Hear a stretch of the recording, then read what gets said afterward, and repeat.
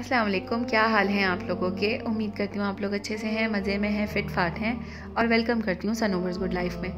अच्छा जी, तबीयत थोड़े दिनों से मेरी अप डाउन चल रही है और मुझे किडनी में पेन हो रहा था। तो मुझे लगा कि ऐसी गर्मियों की वजह से शायद पानी हम कम ले रहे हैं रमज़ान में। इसलिए हो रहा होगा तो डॉक्टर को दिखाया तो उन्होंने अल्ट्रासाउंड करवाया। अल्ट्रासाउंड में जो है वो स्टोन्स बता रहे हैं डॉक्टर किडनी में। तो अभी उसका ट्रीटमेंट चल रहा है अलहमदिल्ला काफ़ी मुझे आराम है, अल्लाह की तरफ़ से बहुत बेहतरी है। और आप लोग को इसलिए बता रही हूँ कि आप लोग मेरे लिए दुआ कीजिएगा। और बस अभी मैं जा रही हूँ डॉक्टर के। तो बस दवाइयाँ, असल में दवाइयाँ ले रही होती हूँ तो फिर मेरी बैटरी बहुत डाउन हो जाती है। तो रोज़े के बाद। तो अब बैटरी जो डाउन हुई है ना, वो उसके बारे में बताती हूँ। असल में मैं आपके साथ एक अच्छी सी रेसिपी शेयर कर रही हूँ। बहुत डिटेल में रेसिपी बनाई, लेकिन उसकी जो फाइनल लुक थी ना डिश की, वो मैं बनाना भूल गई और मेरी इतनी बैटरी डाउन हो रही थी कि मैं सो गई। तो वो आपके साथ शेयर नहीं कर पाऊँगी। लास्ट जो उसका फाइनल लुक था, आपके साथ शेयर करूँगी वो बाद में, ठीक है?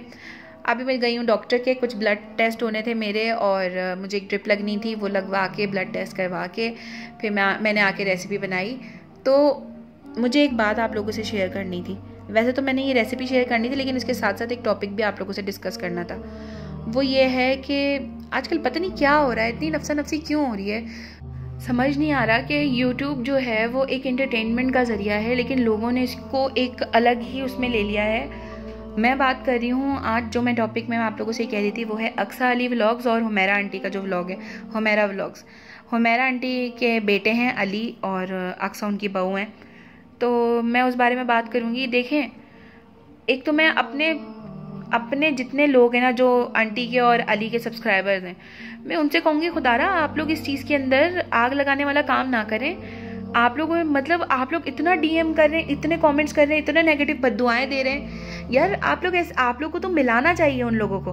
उनको समझाना चाहिए। ना कि आप इतना ज़्यादा उन लोगों को जाके प्रेशराइज करें कि उनके दिलों में और नेगेटिविटी बढ़ रही है। तो मैं आप लोगों से रिक्वेस्ट करती हूँ कि आप लोग प्लीज़ ये सब ना करें। और जिन्होंने नहीं देखे हैं, अली के और हुमैरा आंटी के व्लॉग्स में कहूँगी जाएँ देखें। बहुत अच्छे व्लॉग्स थे और मैं काफ़ी दिनों से उन लोगों को देखती हूँ। जब मेरा अपना खुद का चैनल नहीं था, मैं उनको फॉलो करती थी। तो मैं डिस्क्रिप्शन बॉक्स में उनका लिंक दे दूँगी, आप लोग उनको ज़रूर देखिएगा। जाकर तो आपको समझ आएगी पूरी कहानी। लेकिन मेरा ये मैसेज सिर्फ़ अली और आंटी के लिए है। मैं अली से सिर्फ़ इतना कहूँगी, अली, दुनिया जहाँ के सारे रिश्ते एक तरफ़ माँ बाप का रिश्ता एक तरफ़। अलग होना कोई गलत बात नहीं है। ठीक है, आप अलग होके रह रहे हो। लड़की का भी हक है कि उसको अलग घर चाहिए तो आप अलग घर दो। लेकिन देखो, यार, आपको चाहिए कि आपने अपनी माँ को कैसे संभालना है। मुझे अली, आपकी सिर्फ़ एक बात ही गलत लगी। कि आप अपनी माँ माँ को झूठा साबित करने में क्यों लगे हुए हो? अगर आप ये कहते हो कि आपने मुँह से नहीं कहा माँ को झूठा तो लेकिन आप जो कस्में खा रहे हो तो इसका मतलब आप अपने आप को सच्चा साबित कर रहे हो तो सामने वाला कौन है? आपकी माँ है यार। आप अपने माँ बाप को झूठा साबित कर रहे हो। तो आप ऐसा ना करो। क्या ज़रूरत क्या है क्या आप अपनी माँ बाप को क्लियर करने के बजाय आप हम लोगों को क्लियर कर रहे हो, उनको झूठा साबित कर रहे हो? यार ना करो। आपकी जन्नत है आपकी आखरत है वो वो आप, आपकी आखरत में बख्शिश का ज़रिया है वो लोग। आप ना करो, अपना रिश्ता संभालो और हर चीज़ की क्लेरिफिकेशन यूट्यूब पे मत दो। हम लोग यूट्यूबर्स हैं। इस तरीके से आप आके क्लेरिफिकेशन दे रहे हो, फिर अपनी अम्मी को गलत बोल रहे हो, अपने अब्बू को गलत बोल रहे हो। आप मुँह से डायरेक्ट नहीं बोल रहे हो। ये मुझे बहुत अच्छा लगा कि आप क्लियरली नहीं बोल रहे हो, लेकिन आप ये कह रहे हो, मैंने ये नहीं किया।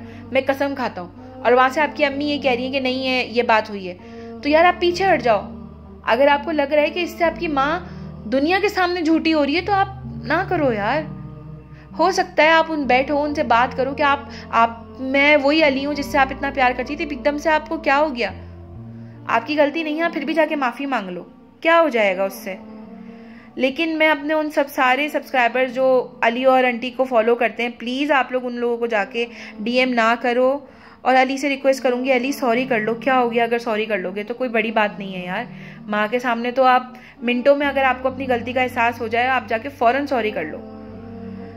माँ अगर एक दफ़ा चली गई ना, अली दोबारा नहीं मिलती। जिनके माँ बाप नहीं है, आप उनसे पूछो। और मुझे दुख ये हुआ कि इतने हैप्पी फैमिली को इस तरीके से टूटते हुए यूट्यूब के ऊपर देखना और एक दूसरे को जलील करना, एक दूसरे को झूठा साबित करना बहुत बुरा लग रहा है। मुझे बहुत बुरा फील हुआ। और मैं आंटी से कहूँगी कि आंटी अंकल आप लोग भी अब इसके रिटर्न में कोई वीडियो ना बनाएँ, कोई जवाब ना दें। खुदारा, आप लोग अपनी फैमिली को समेटें और अपने बेटे बहू को बुलाएँ, उनसे पूछें कि क्या बात, क्या नहीं है। माफ़ कर दें, छोटे हैं आपके बच्चे। और एक दूसरे को समझने की कोशिश करें, ना कि, अली, आप, आपको, आज आपकी इतनी छोटी सी बच्ची, आपको उसकी इतनी परवाह हो रही है, इतना आप उसके लिए वो हो रहे हो परेशान तो आपको भी तो आपकी माँ ने ऐसे ही पाला है ना? माँ बाप गलत होकर भी कभी गलत नहीं होते। अगर वो गलत है ना तो आप छोड़ दो।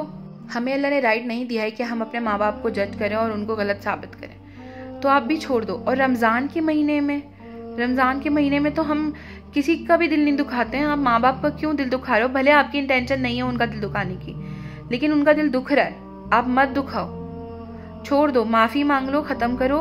अलग, आंटी से भी कहूँगी, आंटी, अलग होना कोई गुना नहीं है। अगर अली अलग हो गया तो कोई बात नहीं। अलग होके भी तो वो आपका बेटा ही रहेगा ना? और आपकी तो पोती है अब इतनी प्यारी सी, आप लोग हैप्पी फैमिली दोबारा बन जाओ, जैसे पहले रहते थे। लेकिन प्लीज़ अब मैं अपने उन लोगों से कहूँगी कि आप लोग नेगेटिविटी ना फैलाओ। गलती किसी की भी हो, चाहे अली और अक्सर की हो, चाहे आंटी की और अंकल की हो तो हाँ आप लोग जाकर उन लोगों को बदुआएँ और उन लोगों को नेगेटिव बातें मत बोलो।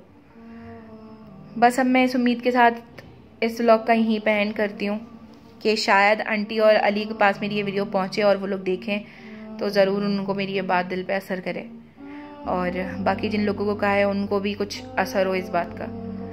तो ये लास्ट में मेरे पास वीडियो क्लिप कम पड़ रही थी, बातें ज़्यादा हो गई थी तो इसलिए एक सी की छोटी सी क्लिप आपके साथ शेयर की है उसमें। अपना बहुत ख्याल रखिएगा, मुझे दुआ में याद रखिएगा। अल्लाह हाफिज़।